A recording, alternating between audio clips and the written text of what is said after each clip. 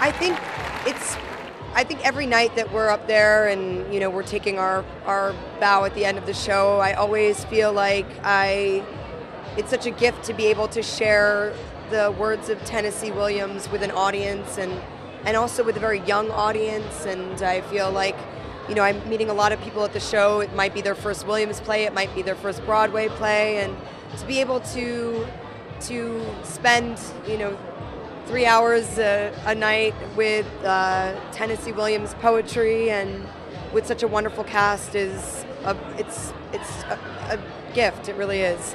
Well, I think that it. I was so absolutely terrified and overwhelmed by the idea of fumbling through the first act, and um, you know, I wanted to be able to start the rehearsal process and not have to think about finding my words for the most part, and. Um, a lot of repetition, yes, six weeks of a lot of repetition, but I had help on the way, a lot of very wonderful actors that, you know, sat there for hours with me and would just recite the line again and again and again. And uh, yeah, it was, it was a feat, but now I know I will never forget my dialogue.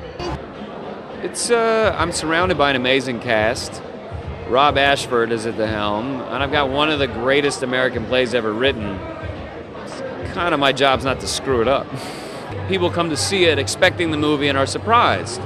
Um, but what drew me to the play was the fact that Rob Ashford was directing it. It could have been toilet paper and I would have wanted to take part.